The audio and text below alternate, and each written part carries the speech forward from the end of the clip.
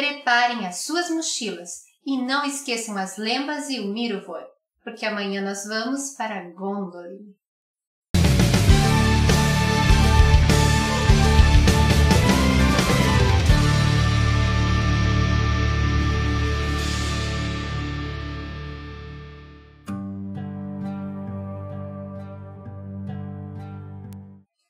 A primeira era chegou no Histórias Não Contadas. E sim, nós vamos falar sobre três espadas. Assim como Lúcia adentrou em Narnia através de um armário mágico, nós vamos adentrar na Primeira Era através de uma viagem a Gondolin, onde nós vamos conhecer a origem dessas três espadas lendárias da Terra-média.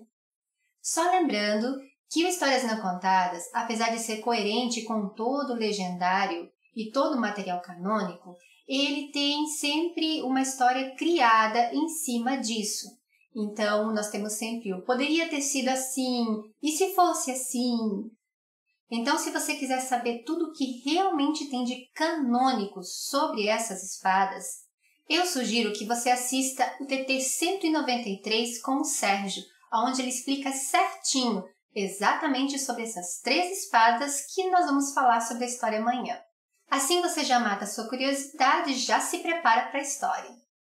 E nós vamos introduzir a primeira era com a terceira era. Sim, nós vamos usar o Bilbo para isso. No filme, Frodo sai pouco tempo depois do Bilbo ir para Valfenda, mas no livro esse tempo é bem mais longo. E é nesse tempo que Bilbo fica em Valfenda que ele escreve praticamente todo o livro vermelho e toda a história dos elfos que nós conhecemos como os Contos Perdidos, ou Silmarillion, ou A Queda de Gondolin, ou Os Contos Inacabados, enfim. Lá, Bilbo tinha material de sobra para poder escrever, além de pessoas que podiam contar muitas coisas para ele. Uma dessas pessoas era Glorfindel. Quem é Glorfindel? Glorfindel é um elfo muito irado da Primeira Era. Ele morava em Gondolin e morreu lá. Pois é, morreu lá. Mas depois voltou para a Terra-média e morava em Valfenda na época que Bilbo estava lá.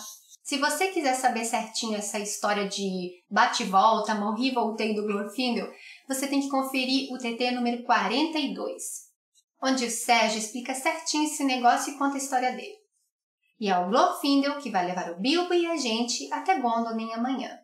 Um outro vídeo que eu quero muito que vocês vejam antes da história de amanhã é o 322, onde o Felipe conta a história da Simbelmin.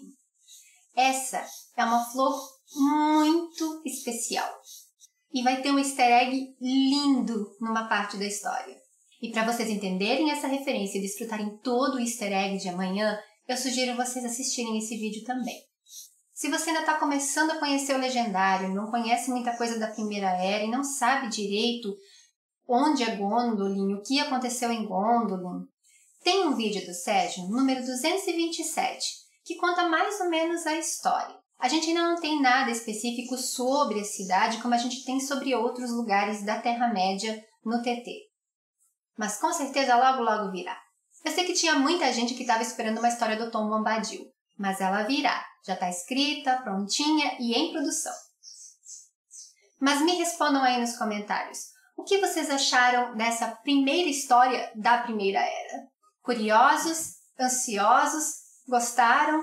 Então comentem aí embaixo, curtam o vídeo. Se quiserem ajudar como padrinhos ou madrinhas, ou usar os nossos links para comprar na Amazon, ou assinar a Amazon Prime. E como vocês já viram, sexta-feira nós estamos no Submarino. Não esqueçam de dar uma conferida na nossa página lá. Tá linda! Eu sei, dá vontade de comprar tudo.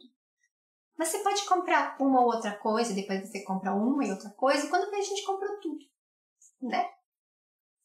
Para quem gosta de ler as histórias, nós também temos os PDFs das histórias nos links abaixo ali na descrição. É só procurar.